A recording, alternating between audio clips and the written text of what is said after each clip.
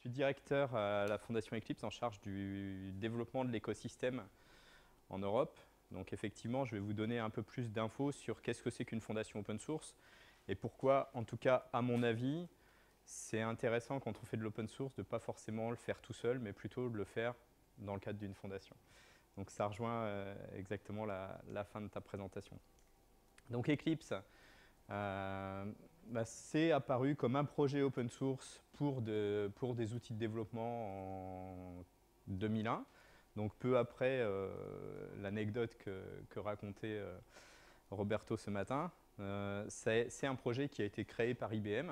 Donc pendant les premières années de la vie du projet, c'était un projet open source, piloté par IBM, ouvert à tout le monde, mais vraiment sous l'égide d'IBM. Et en 2004, ils ont créé la fondation Eclipse avec l'idée que ils avaient besoin, pour établir une réelle collaboration euh, équilibrée avec d'autres partenaires, on, les verra, euh, j'ai un slide sur un peu les, différents acteurs, ils avaient besoin d'une sorte de tiers de confiance, et c'est vraiment ça euh, le rôle des, fondations open source, c'est d'être là pour s'assurer que les processus, les bonnes pratiques sont bien mises en œuvre. Donc en 2004, la création de la fondation. Euh, à peu près au même moment, la création de euh, Eclipse Rich Client Platform, euh, qui en fait est une partie plateforme de plateforme logicielle pour faire des applications et qui aujourd'hui est utilisée dans des milliers, des milliers d'applications, que ce soit des produits ou je suis sûr qu'au CNRS, il y a des des, dizaines de personnes qui utilisent la plateforme Eclipse pour, euh, pour faire euh, leur, leur, prototype de recherche. En 2009, on s'est rendu compte de, quelque chose, c'est qu'en fait, on était bon à la fondation Eclipse et dans notre écosystème pour faire euh, ce que j'appelle en anglais des business-friendly open source écosystèmes. Donc, des, des, écosystèmes open source dans lesquels on favorise l'émergence de, voilà, de, d'approche business. Et, en fait, là où initialement on faisait ça uniquement sur les outils de développement, on s'est dit ben, on pourrait appliquer nos bonnes pratiques, nos processus à des nouveaux domaines. Et donc, euh, on a créé la notion de euh, working group dans Eclipse, qui fait qu'aujourd'hui, quand moi je représente la fondation Eclipse, je ne parle pas juste des outils de développement, mais je parle de tout un portfolio de technologies sur lequel je reviendrai rapidement tout à l'heure. Et alors, il y a un point qu'on n'a pas forcément mentionné ce matin, mais je pense que quelque part, comme dans beaucoup de domaines du logiciel, l'open source, euh, source fait un peu partie du soft power nord-américain. Donc on est malgré tout dans, un, dans des cadres euh, juridiques euh, ou dans des, dans des mindsets nord-américains. Mais chez Eclipse, en 2013, on a créé une filiale en Europe. Et, et aujourd'hui, on a aussi toute une démarche, on a une équipe de... Euh, on a un tiers des effectifs qui travaillent en Europe dans la fondation.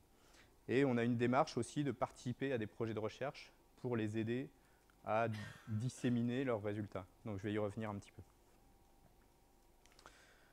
Donc très rapidement, on est une fondation qui a 360 projets open source. Euh, notre communauté écrit et publie 130 euh, millions de lignes de code par an qui est quand même significatif. On a 1400 committeurs, donc 1400 euh, développeurs qui ont le droit de, soumettre du code. Et puis, comme le disait Roberto ce matin, on, est, le, on fait partie des outils de développement leaders sur les technologies Java, C++, PHP et d'autres. En termes de fondation open source, donc notre organisation, on a un budget qui est à peu près de 5 millions, entre 5 et 6 millions de dollars par an. 260 membres. Notre budget vient des membres. Euh, donc on a 260 sociétés qui sont membres et 11 membres stratégiques. Je, vous les montrerai tout à l'heure parce qu'il y a des choses intéressantes sur les membres stratégiques. On a une équipe de 25 personnes à peu près réparties, euh, une grosse partie au Canada, euh, où, sont, où, est le, siège de la fondation. On en a deux aux États-Unis et puis le reste, on, on, est 8 en Europe. Et on organise parce que c'est notre boulot aussi de, faire que les gens se rencontrent et euh, puissent avoir des opportunités pour, travailler ensemble. On organise une cinquantaine d'événements par an, dont euh, trois événements majeurs. Un à Stuttgart, un à Toulouse et un qui a lieu tous les ans aux États-Unis. Donc j'ai mis ce slide, euh, le principe étant pas de, passer euh, sur tous les membres de la Fondation Eclipse. Le principe est, de vous dire, euh, initialement, la Fondation Eclipse est vraiment née en Amérique du Nord. Aujourd'hui, 15 ans après, après le, début du projet, on a autant de membres en Europe que dans le reste du monde. donc, on a vraiment, je dirais, ramené l'épicentre de cet écosystème au milieu de l'Atlantique. Les membres stratégiques, c'est intéressant aussi parce que on a des euh, usual suspects du, monde du logiciel. On a IBM, Oracle, euh, SAP, euh, etc. Mais si on regarde cette liste, on a déjà un centre de recherche avec CEA Tech. On a des PME, donc on a OBO, on en parlait, j'y reviendrai un peu tout à l'heure. Itemis, Codenvi. Et puis on a aussi la moitié des membres stratégiques de la Fondation Eclipse qui sont des sociétés européennes. Et les deux derniers qui nous ont rejoints, alors juste pour info, une société comme Bosch et Ericsson, les deux, pour être membres stratégiques de la Fondation Eclipse, ils, doivent, avoir, ils doivent être leaders d'au moins un projet, avoir au moins 8 développeurs à temps plein sur des technologies Eclipse et payer une adhésion de 250 000 dollars par an. Donc même dans des sociétés comme ça, c'est quand même une décision qu'ils ne prennent pas à la légère. Et euh, Bosch, c'est très intéressant parce que c'est la première société qui est vraiment euh, un peu plus loin du monde du logiciel. C'est un vrai acteur euh, industriel. Et donc, je vais, je vais, vous raconter sur le slide sur la maturité comment ils sont venus à, travailler avec nous.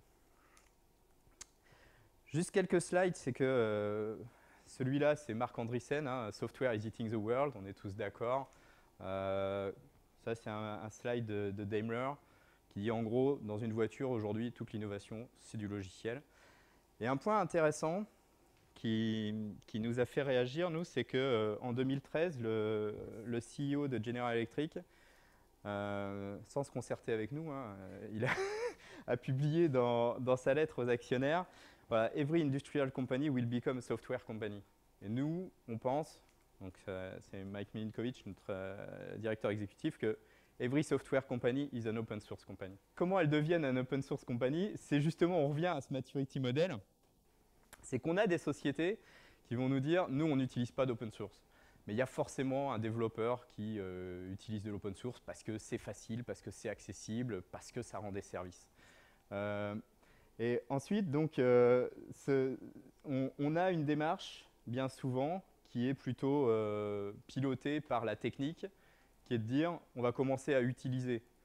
Et on va commencer à utiliser de façon officielle. Donc dans beaucoup d'entreprises maintenant, on a, des, euh, on a des services qui font de l'open source compliance, qui ont utilisé des produits comme Palamida ou euh, Fossology ou des choses comme ça pour, pour regarder est-ce qu'on euh, est qu'on utilise des softwares avec des licences compatibles, des choses comme ça.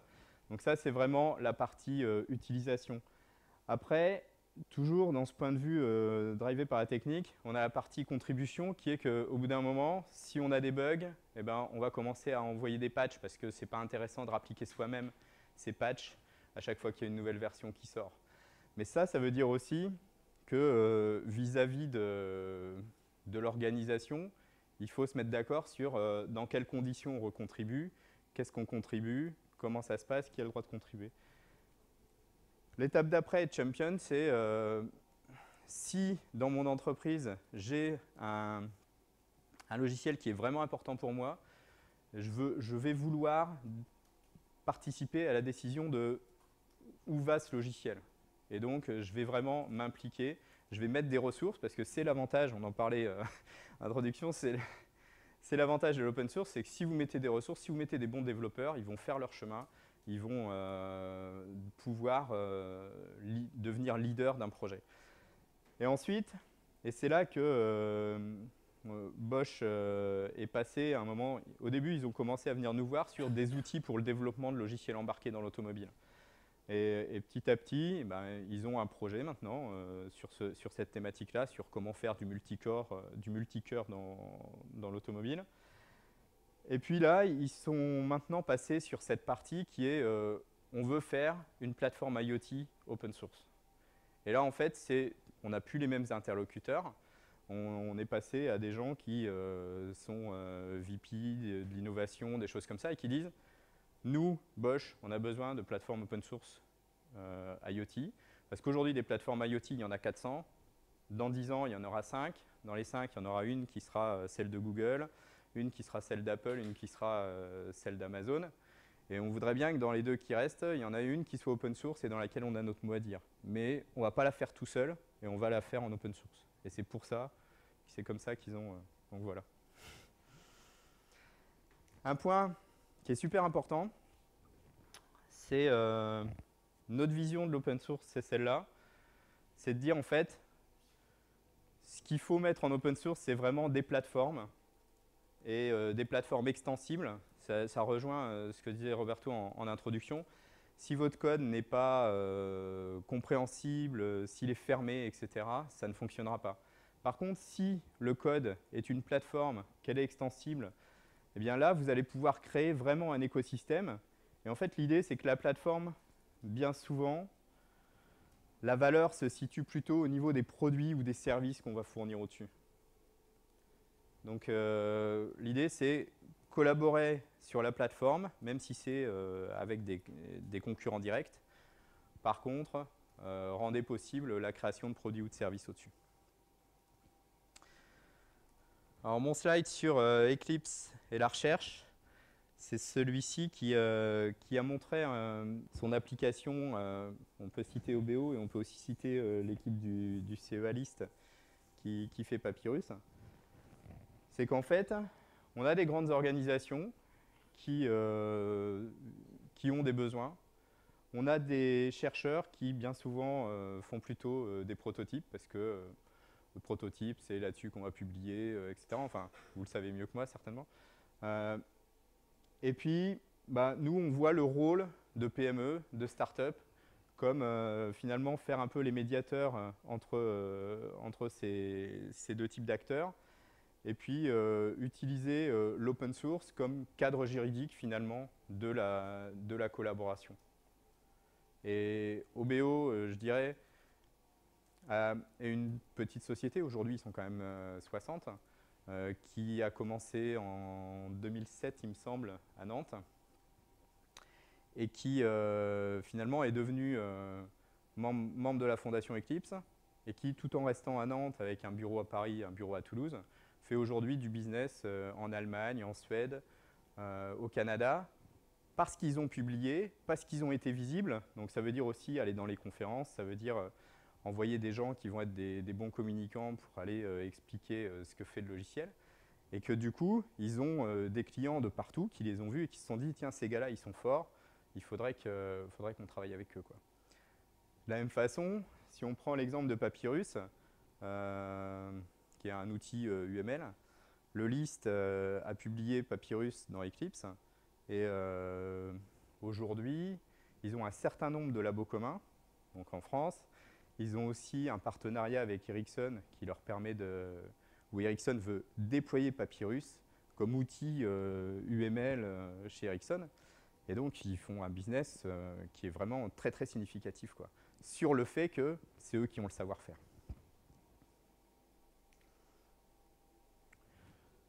Juste très rapidement, parce que je pense que ce n'est pas l'objet de la journée, mais un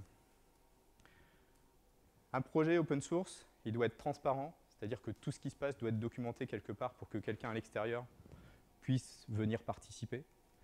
Il doit être ouvert, c'est-à-dire qu'on ne peut pas interdire à quelqu'un de participer parce qu'il ne travaille pas pour la bonne société ou parce qu'il euh, a une tête qui ne vous plaît pas. Et il applique, il met en œuvre une certaine méritocratie, c'est-à-dire qu'il faut faire ses preuves pour pouvoir participer. C'est-à-dire qu'on commence en tant que contributeur, on envoie ses patchs, après on va être euh, élu comme committeur, et après parmi les committeurs, on va élire un project leader qui va, euh, qui va euh, ben, être le coordinateur de, l'équipe.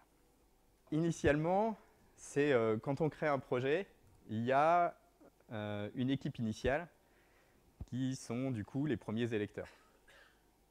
Donc c'est ceux qui en fait ont créé le projet. Euh, ensuite, chaque nouveau committeur qui va être élu devient euh, un électeur. Et le rôle d'une fondation comme nous, par rapport à l'ouverture par exemple, c'est euh, si l'équipe refuse systématiquement l'élection de, nouvelles personnes, on va aller les voir en leur disant qu'est-ce qui se passe. Quoi. Soit vous nous expliquez pourquoi vous trouvez que, ce qu'ils font n'est pas bon, soit vous les acceptez. On a ce rôle un peu de, facilitateur. Sinon, soit vous nous expliquez pourquoi vous refusez, soit vous les acceptez, soit vous partez. C'est les trois euh, alternatives. Alors, aujourd'hui, on a GitHub. Donc, euh, OK, Microsoft est euh, le premier contributeur sur GitHub. Je crois qu'il y a plusieurs millions de projets open source sur GitHub. Avoir une infrastructure, c'est un point. Mais nous, on pense qu'il y a aussi besoin d'autres choses pour faire de la collaboration autour de l'open source. Donc il y a besoin euh, de gestion de propriété intellectuelle, il y a besoin d'avoir des processus euh, qui explicitent à tout le monde comment on gère un, projet open source. Euh, il y a besoin de faire, de développer l'écosystème, donc de rencontrer des gens, etc. juste parce que je pense que ça peut vous intéresser, qu'est-ce qu'on fait nous une fondation comme nous en termes de, gestion de la propriété intellectuelle, en fait, on a une équipe à temps plein qui, grosso modo, analyse tout le code qui arrive chez nous, euh, en, faisant dessus des recherches de mots-clés, en appliquant euh, des outils à la Black Duck, à la Palamida. Euh, et en fait, on, a non seulement le code source est analysé pour qu'il soit IP clean, mais aussi toutes les dépendances et les dépendances de dépendance.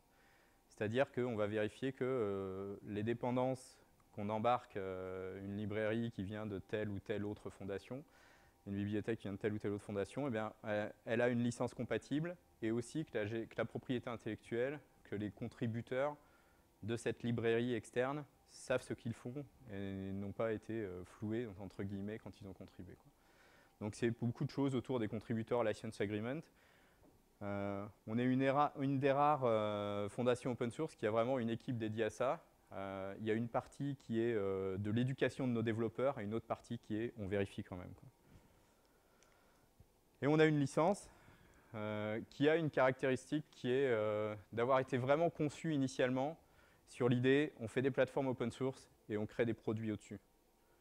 C'est-à-dire qu'à un moment, je pense, IBM avait une centaine, voire 150 produits propriétaires basés sur la plateforme Eclipse.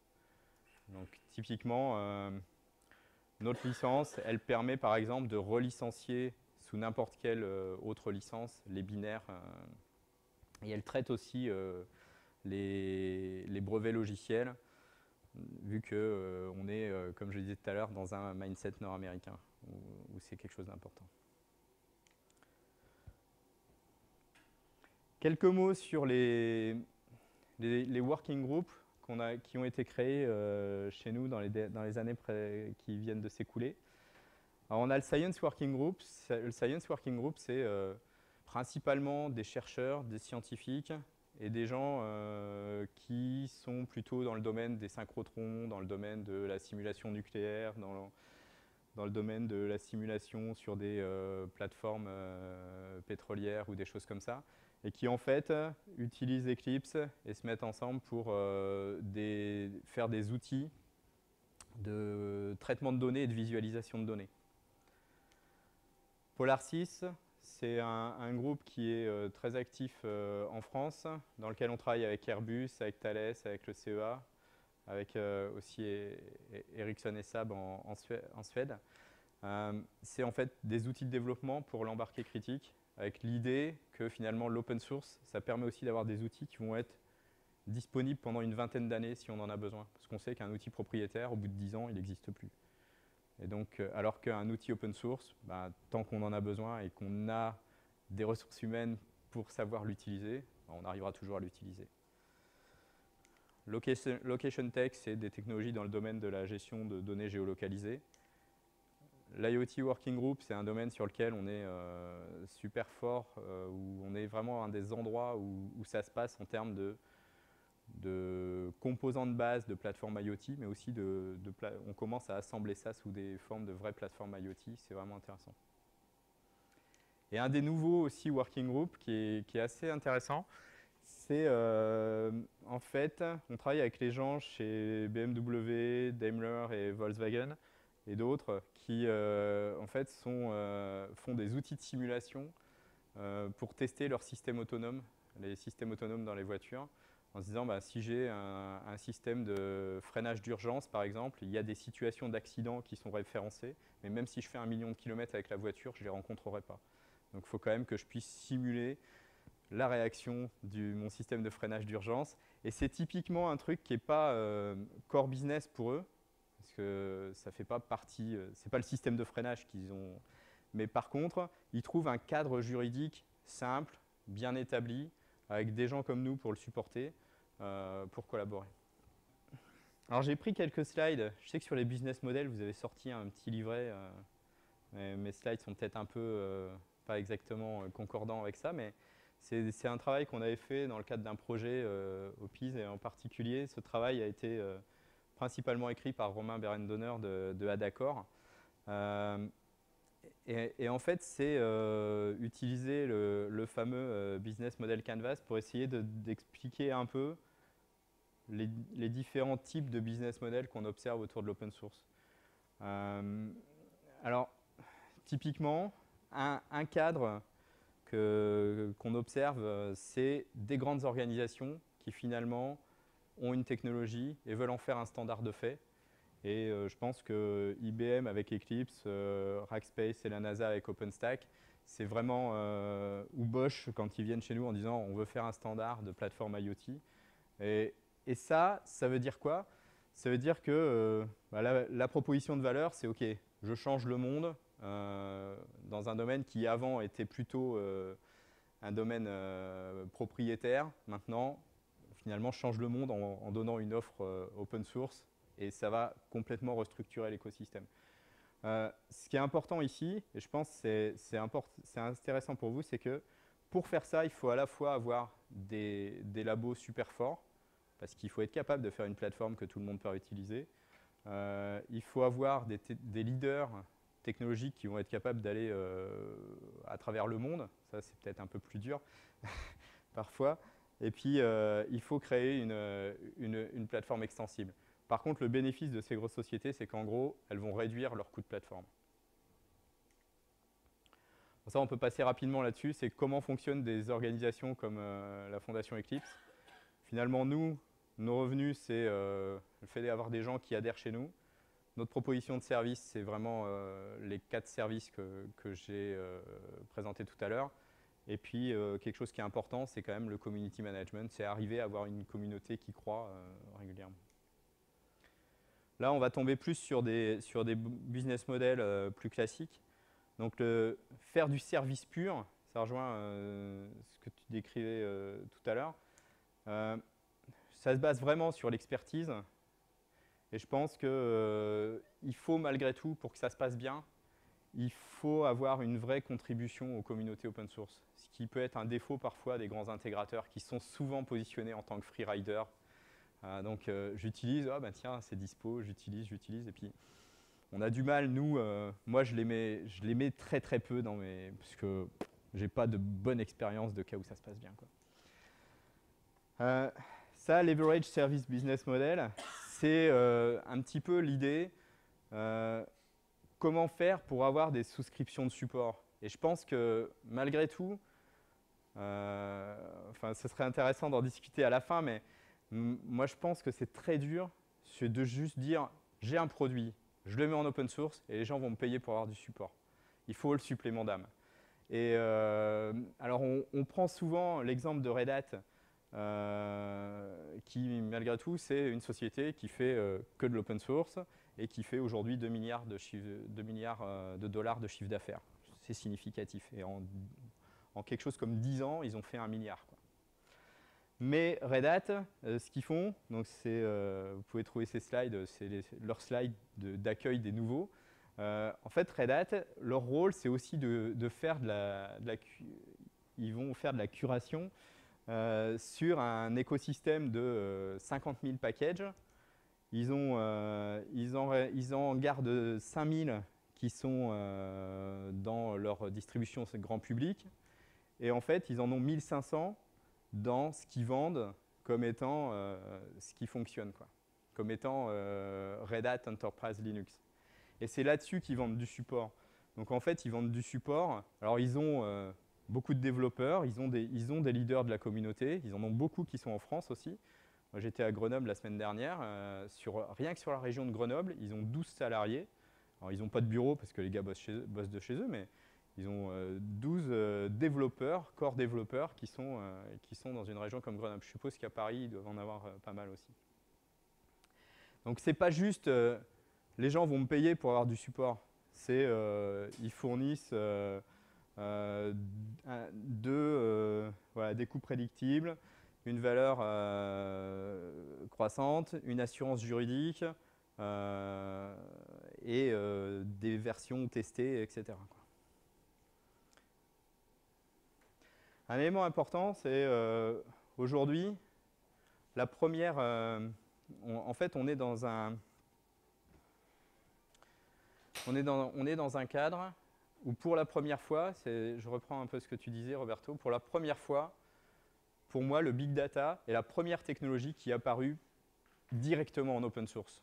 C'est-à-dire qu'avant, on, parlait des operating systems, l'open source a toujours été euh, un, phénomène de commoditisation d'une technologie. Mais aujourd'hui, euh, le big data, et j'espère que... Alors ça s'explique parce qu'on euh, met derrière des milliers de serveurs, etc. Mais, mais j'espère que c'est un changement plus profond et que ça correspond vraiment au fait de dire, bah oui, on fait de l'open source pour gagner du mindshare, etc. Mais voilà, c'est fournir un service intégré euh, c'est important. Et après, ben, le diffuser en open source et avoir des évangélistes qui vont aller le distribuer, c'est important aussi. Il y, a un business model aussi qui est quand même... Euh, il y a un élément qui simplifie tout, c'est quand on a du hardware quelque part.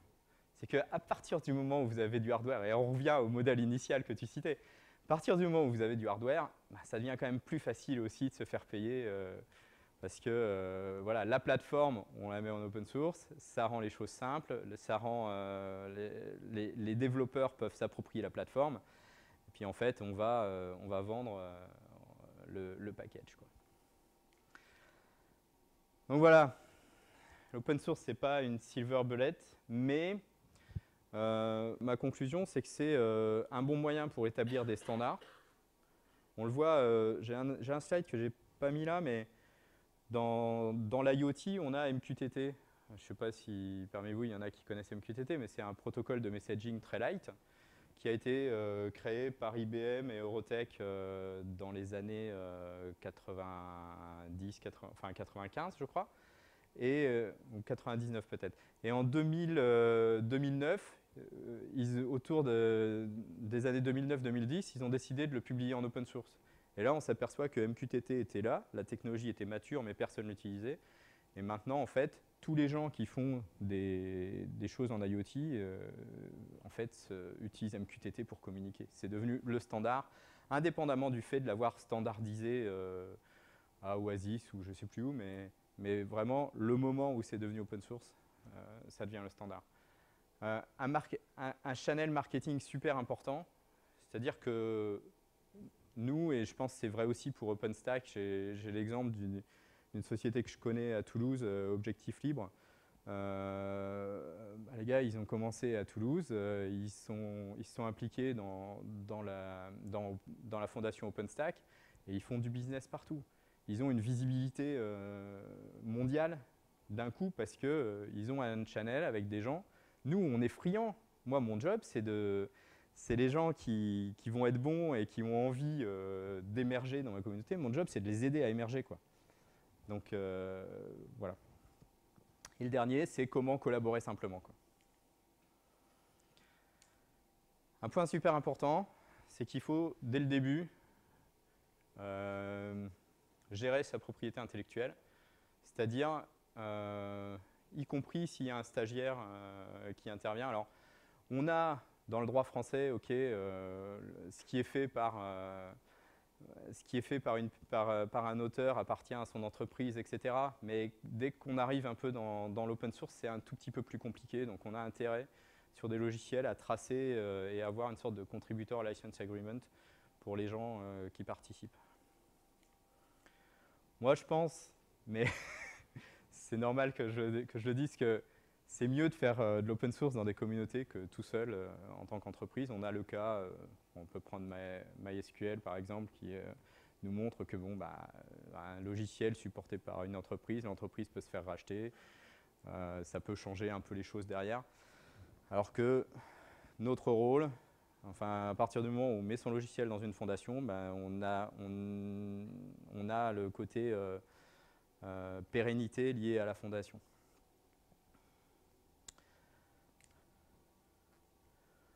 Pas réinventer la roue, travailler avec les autres dès le début. Euh, en gros, on se retrouve Enfin, même, on, se, retrouve, il y, y, a des moments où il y a des modes et avec euh, tout le monde qui a euh, sa version, euh, en ce moment c'est sa version de la plateforme IoT. Ouais ok, mais il faut réfléchir en quoi ma version de la plateforme IoT elle est différente des autres. Et personnellement, je pense choisir un une business-friendly license. voilà, nous, clairement, la licence EPL n'est pas, trop, est pas compatible avec la licence GPL.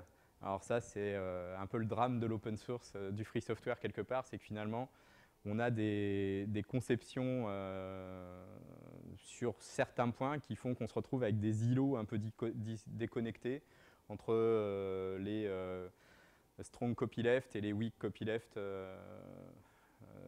les strong copyleft d'un côté avec les, GPL, AGPL et autres, et les weak copyleft Apache, BSD, MIT, Eclipse de l'autre. Voilà, j'ai fini.